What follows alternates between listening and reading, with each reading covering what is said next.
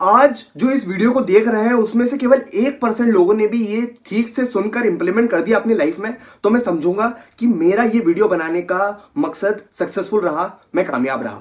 तो बात इतनी सी है मेरे दोस्तों कि जब अगर आप सीए फाउंडेशन में हो क्लास इलेवन ट्वेल्थ में भी हो, और अगर आपने इंटरमीडिएट दिया है और आप आपकी आर्टिकलशिप स्टार्ट करने जा रहे हो, या फिर आप एक chartered accountant CA final clear किया है, जब आप जॉब के लिए जा रहे हो कंपनी सेक्रेटरी हो, आप अपनी जॉब के लिए जा रहे हो ट्रेनिंग के लिए जा रहे हो, या फिर एक सक्सेसफुल प्रोफेशनल बनने के बाद आपने सोचा कि नहीं, मुझे तो सब कुछ छोड़ छाड़ के प्रैक्टिस स्टार्ट करनी है, इन सब में एक चीज़ कॉमन रहने वाली है, वो है आपकी public skills public speaking skills communication skills soft skills आप खुद को कैसे प्रेजेंट करते हो पब्लिक को। देखो पब्लिक स्पीकिंग का मतलब ये नहीं होता कि किसी बड़े स्टेज पर जाकर लाखों, हज़ारों के ऑडियंस को एड्रेस कर रहे हो। Public speaking soft skills presentation skills communication skills जब काम आती है, जब आप वन टू वन डील भी कर रहे हो अपने क्लाइंट के साथ,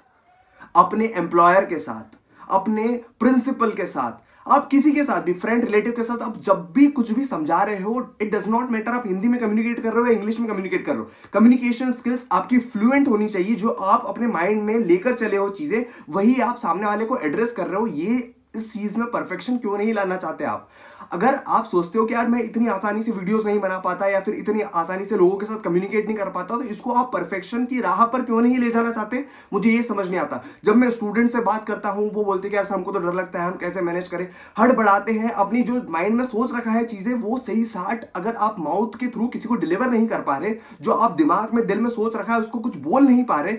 तो आप सोचिए कि आप कितना बड़ा लॉस कर रहे हो अपने नॉलेज के साथ, अपनी स्किल्स के साथ। जब आप उसको सही तरीके से किसी को कम्युनिकेट नहीं कर पाओगे, केवल आप उसको एग्ज़ाम में इंस्टीट्यूट को पास करने के लिए ही बता पाओगे तो क्या मतलब ऐसी नॉलेज का जो बहुत इंपॉर्टेंट होने वाली है आपकी लाइफ में? मैं आपको अपना एग्ज़ाम्पल देता हूँ। फॉर एग्ज़ाम्पल केवल अब दस स्ट्रीम्स है जिसमें एज ए चार्टर्ड अकाउंटेंट में वर्क कर सकता हूँ।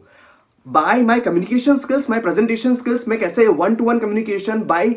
कैमरे को ऑन करके मैं कैसे कम्युनिकेट कर पाता हूँ, उससे मैंने इन दस स्ट्रीम्स को इंटू टेन कर लिया। है multiplied this into hundred ten because of my communication skills my presentation skills और ये सारी धीरे धीरे आई है। ऐसा नहीं है, एक दिन उठा, मैं एकदम हाई फाई किया, यार चलो ठीक है, अब तो मैं बस मस्त वीडियोस बनाऊँगा, अपनी communication skills public speaking skills अच्छी फ्लरिश कर लूँगा। ये एक दिन का काम नहीं है भाई। ये काम है धीरे धीरे ग्रोथ करने का धीरे धीरे कम्युनिकेशन स्किल्स अपनी वॉकेबलरी ऐड करने का धीरे धीरे उसमें फ्लुएंसी लाने का। पर कंसिस्टेंसी से अगर आपने इस पर वर्क नहीं किया तो आप पाओगे कि आप बहुत सारी अपॉर्चुनिटीज़ को मिस कर रहे हो। आज मैं डिफरेंट ब्रांड्स के साथ काम कर रहा हूँ डिफरेंट डिफरेंट एजुकेशनल इंस्टीट्यूट के साथ काम कर रहा हूँ, जहाँ पर मैं डेमो लेक्चर्स डिलीवर करता हूँ, उनके साथ बात करता हूँ, उनके लिए वीडियोस बनाता हूँ। ये सारी चीज़ें तब पॉसिबल है, तब अचीवेबल है, तब ओपन है, तब आप जब आप एक अच्छे प्रेजेंटेटर कम्युनिकेशन स्किल्स में थोड़ा सा अपना हाथ जमा चुके हो और ये सारी चीज़ें, अरे यार, अगर आपको बात मानो, अगर आपको वीडियोस नहीं बनाना आती, एक काम करो, अपना फ़ोन चालू करो, हर दिन 30 सेकंड का वीडियो रिकॉर्ड करना है इसको कहीं भी सेंड नहीं करना, कहीं भी शेयर नहीं करता, लेकिन ये 30 सेकंड का वीडियो किसी भी टॉपिक पे हो सकता है। लेकिन हर दिन ये 30 सेकंड से लेकर एक मिनट का वीडियो आप बनाओ और एक महीने के बाद खुद में इंप्रूवमेंट देखना कि यार, मैं कितने अच्छी तरीके से खुद को कम्युनिकेट कर पा रहा हूँ। कितने अच्छी तरीके से जो मेरे दिमाग में वर्ड्स आ रहे हैं, जो थॉट्स आ रहे हैं, मैं उसको कितनी अच्छी तरीके से डिलीवर कर पा रहा हूँ। ये सारी चीज़ें तभी होगी जब आप कंसिस्टेंटली इस पर काम करोगे। पर अगर आपने इस पर काम ही नहीं किया तो रिज़ल्ट नहीं आने वाला। तो प्रैक्टिस आपको करनी पड़ेगी कंसिस्टेंसी से काम करना पड़ेगा, तभी आप पाओगे कि जो 10 opportunities after being chartered accountant आपको होने वाली है, वो आप सो पाओगे अगर आपने अच्छे से वर्क किया अपनी कम्युनिकेशन स्किल्स पर प्रेजेंटेशन स्किल्स पर तो। होप मैंने खुद को अच्छे से क्लियर किया कि मैं जो कहना चाहता था कि यार, अपने स्टडीज़ के अलावा आपको कम्युनिकेशन स्किल्स पर भी वर्क करना है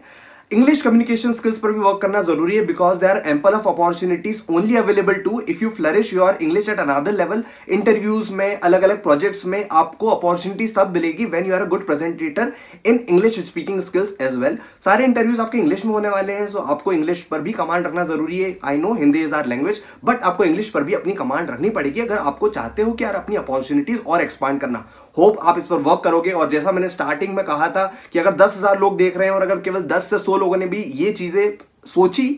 करने की और सच में करी तो मैं सोचूँगा कि यार मेरा ये वीडियो बनाने का सक्सेसफुल रहा मकसद। Thank you happy learning have a nice day bye